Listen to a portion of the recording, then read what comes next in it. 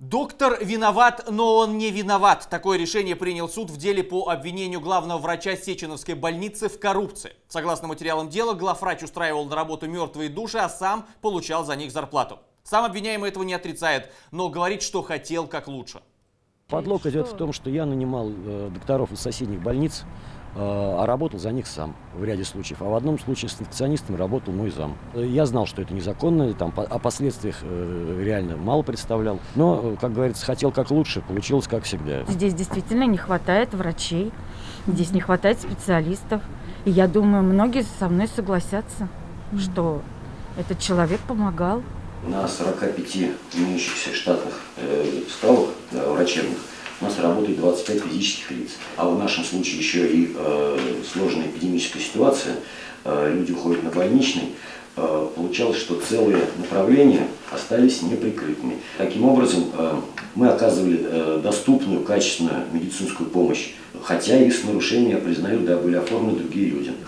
Он не в целях каких-то там Э, там заработка денежного или еще что-то там.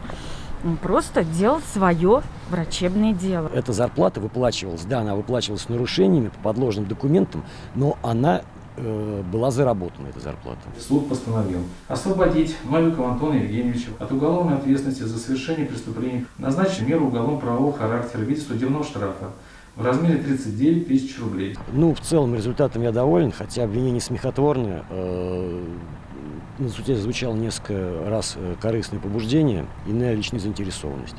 А, ну, как известно, деньги, заработанные в районе 60 тысяч, я вернул.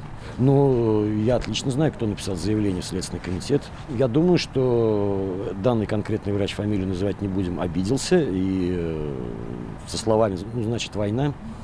Вот, э, решил так поступить. Ну, вообще, это резонанс, даже плевок не то, что э, пределах Сеческого района. Это плевок всему медицинскому сообществу всей России.